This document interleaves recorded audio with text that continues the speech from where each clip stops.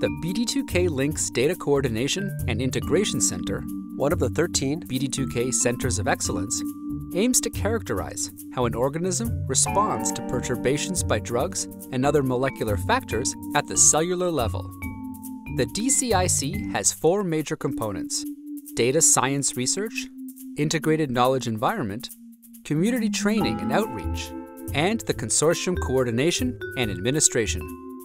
The objective of our DSR component is to develop methods to extract knowledge from LINCS data by combining that data with other relevant resources. The integration of LINCS perturbation data with other datasets is expected to help unravel the mode of action of perturbations at a global scale. Such understanding will facilitate drug repositioning strategies, identification of new drugs and targets, and prediction of adverse events before they manifest in patients.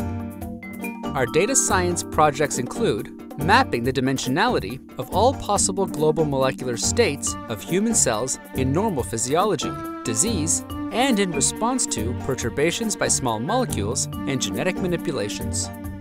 Understanding how different layers of human cellular regulatory networks correlate and interact developing methods to benchmark computational and experimental methods to objectively evaluate their quality. Identifying the inherent biases within experiments to develop methods to correct for such biases.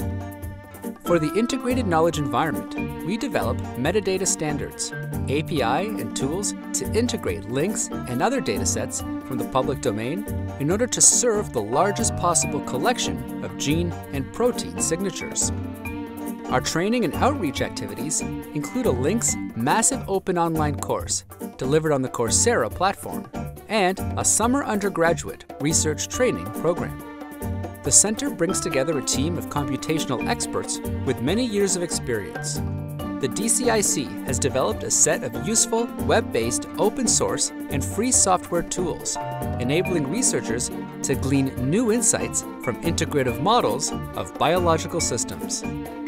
By doing so, the DCIC manifests the transformational potential of LINCS data in accelerating the discovery of novel therapeutics for precision medicine.